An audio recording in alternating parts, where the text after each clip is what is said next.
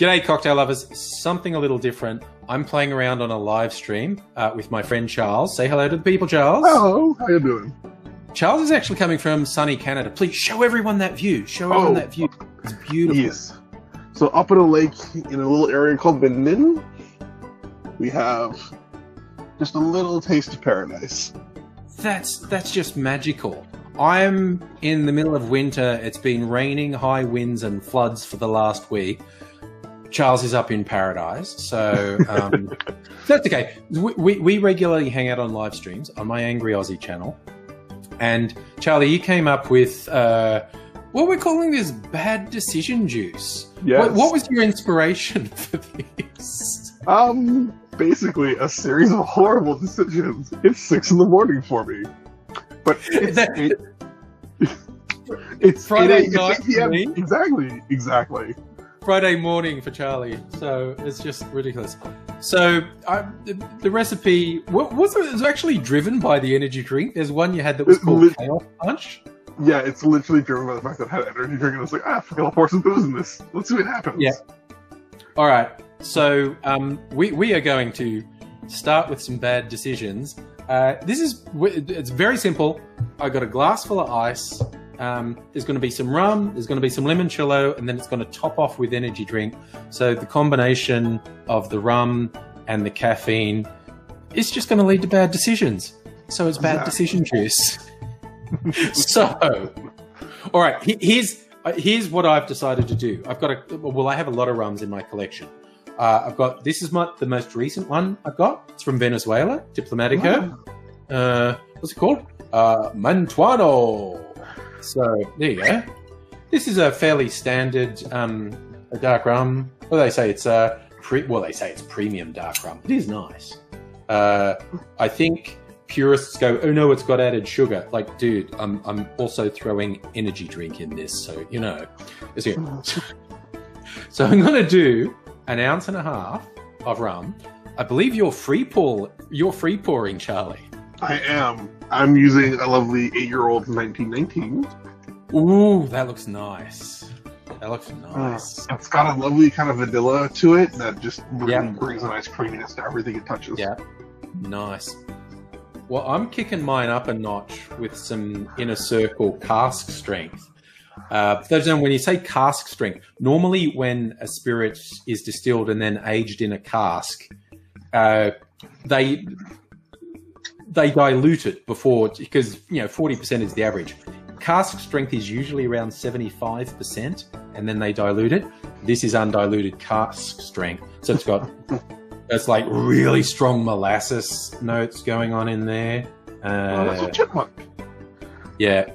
Uh, so I'm gonna. I'm only putting half an ounce of this in because it's pretty beastly. I mean, uh, you don't want your drink to be flammable. I don't think. Actually, if you do want your drink to be flammable, you float this one on top and set it on fire. I could have. I. I could have done that, uh, but too late now. Now, you also wanted limoncello, which I assume means you have limoncello on hand. A lovely Ooh. limoncello. That was nice. This this is a uh, an Australian one um, uh, from South Australia. It's really nice. Oh, crack the seal. Is that a new bottle? Nice. No, it's not. It just has a Oh, no, weird the sugar. topper on it. Yeah, no, the, sugar gets in the thread. Yeah. Yeah. All right. So I'm going to put an I'm going to put an ounce of limoncello in because why not?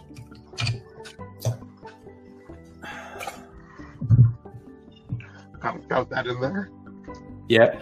And um, the other part of the bad decision is the caffeine part. So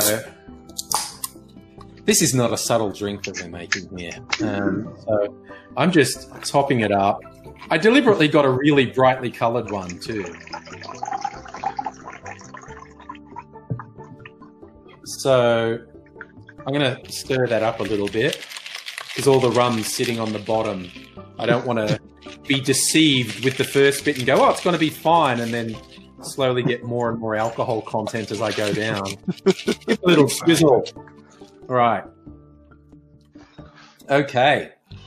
That's a fantastic color. What does yours look like, Charlie? About Very same. similar. There we Yeah. go. All right. So, um, there we go. Can, we, can we get, like, do a clink? Here's, there we go. Cheers. Cheers. Clink. Cheers to Right. international bad decisions. this will.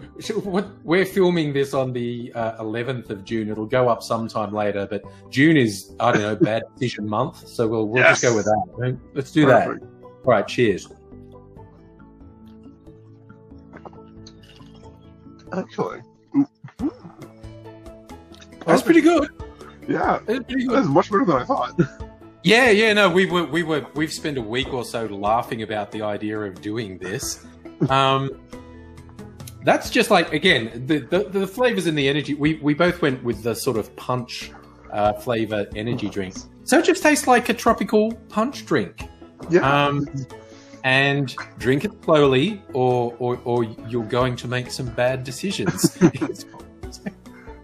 the, the exactly. And the general theory is like, you know, let's have a drink, but let's give ourselves the energy to do the stupid things the drink wants us to do.